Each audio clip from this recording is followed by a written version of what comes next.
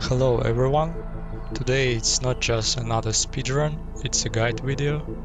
This guide is not exhaustive, I just wanted to make a video that I would like to watch myself when I was starting my attempts to speedrun Hitman.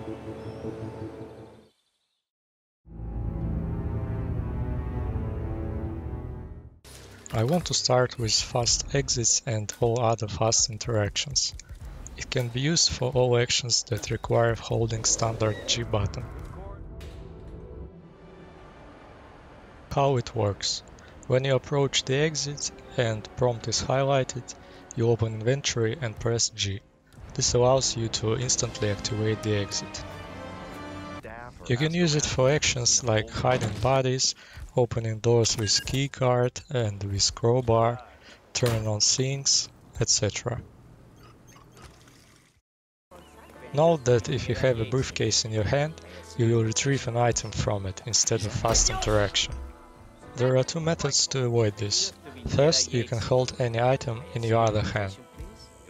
Second is when you are fast interacting, after opening inventory, you can switch to another item and press G. Small tip about fast interaction with manhole is to hold move forward button while animation is in progress. When animation starts, you hold walk button and spam inventory and G buttons. This will cut the end of animation and you will be able to exit the mission faster. Some objects, like this laptop, have a long animation.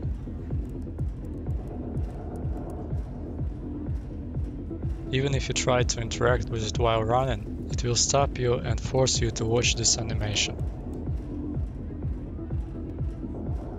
You can avoid it by crouching before fast interaction with that object. It seems like it doesn't work with all objects of this type, but you should keep it in mind when you run involves something like that.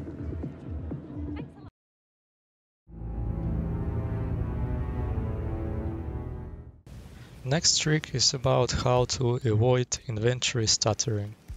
It happens when you run and try to equip some item from your inventory. What you do is just strafe right or left a little and open inventory at that moment.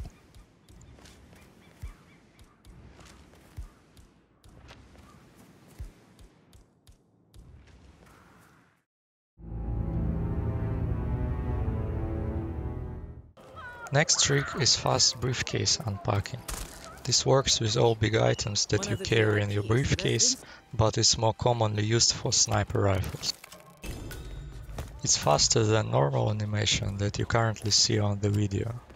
To do fast unpacking, first you have to drop the briefcase and then you press retrieve plus crouch buttons in any order. In both cases you press the crouch button again at the end to uncrouch. You can use this trick when the briefcase is on the floor. You just crouch and press retrieve button.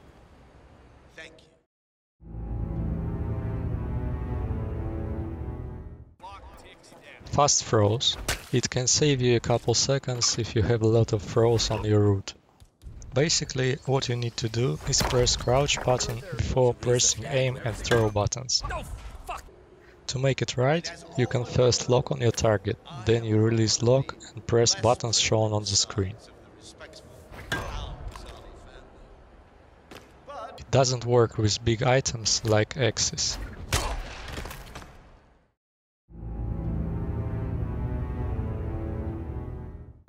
Next I want to mention spots on some maps where you can drop down.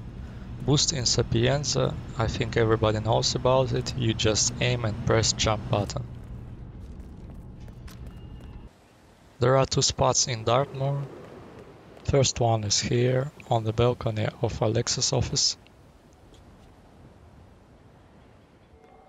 Second one is on the other side of the floor on this balcony. You just vault and drop down. There is no one spot in Mendoza, it doesn't require anything special, you just vault at this place.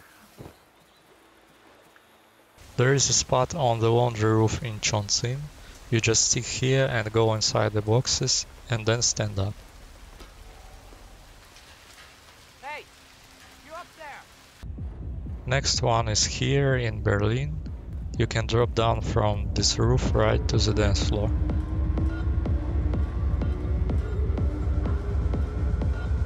This one requires some practice before you can consistently use it on your runs, because you can easily get stuck like this.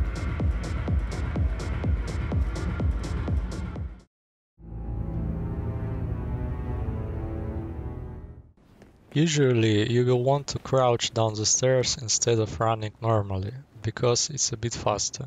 But there is a third way to get down the stairs, and that's a stairs glide. To perform it, you need to shoot without aiming and move back down the stairs while holding aim at the right angle to make it really fast. You need to practice this trick for smooth movement and the right angle to use it on your runs.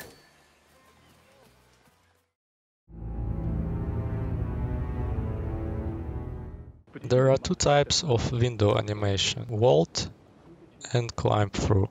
Most windows have only one type. For windows that have both types, you will prefer vault animation, because it's much faster. This is rather a minor trick, but I think it's important to keep it in mind for level runs.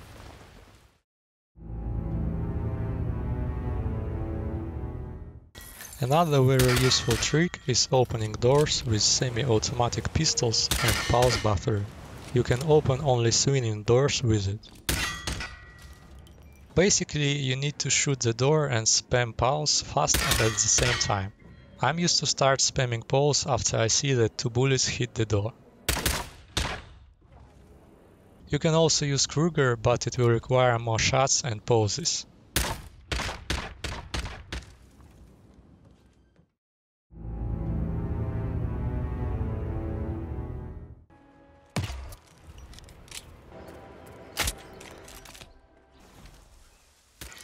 Stored or quick shots.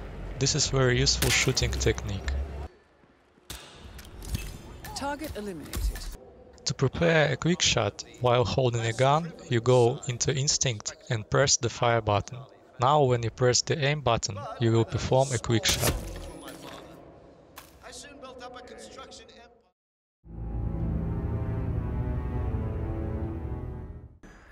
Next trick is mechanic known as peekaboo. It works for all NPCs that are enforcers when you are trespassing. What? God damn! You just let someone see you trespass and run away when you are almost spotted. Your target will go to check the position where a trespasser was seen. When NPC you want to lure is far away, you can point a gun at him to make him notice you. You can also point a gun to make this effect work That faster like here. Bowden, aka the Crusher, and blood.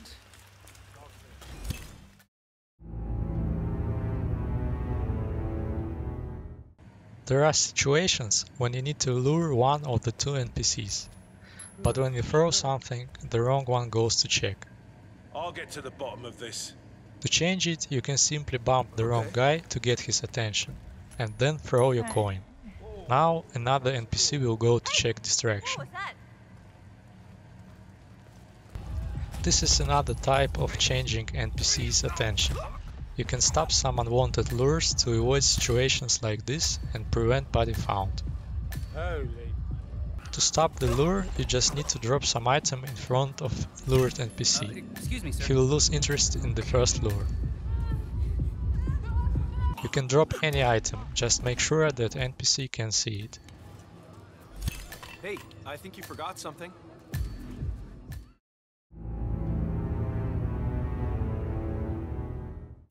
Gun lure or gun leash. It's a glitch uh, that allows you to make any NPC to follow you everywhere. To make a gun leash, you need to place the gun in NPC's sight. After NPC notices it, he will go to the nearest guard to report it. I'll take a look. Not another one. You need to pick up the gun right at the moment when he starts to turn around to go to report. NPC must see that you've taken the gun. Now this guy will follow us everywhere to confront about the gun. Come on, holster your weapon. I think this trick is more useful for contract mode, but sometimes you can find it useful in And that missions the too. Target is scheduled for several cycles on the catwalk, so the dressing room is a likely area to acquire him initially. What the? Target down. Well done, 47. And that's all for now. I hope you found something new and useful in this guide. Thank you for watching, good luck and goodbye.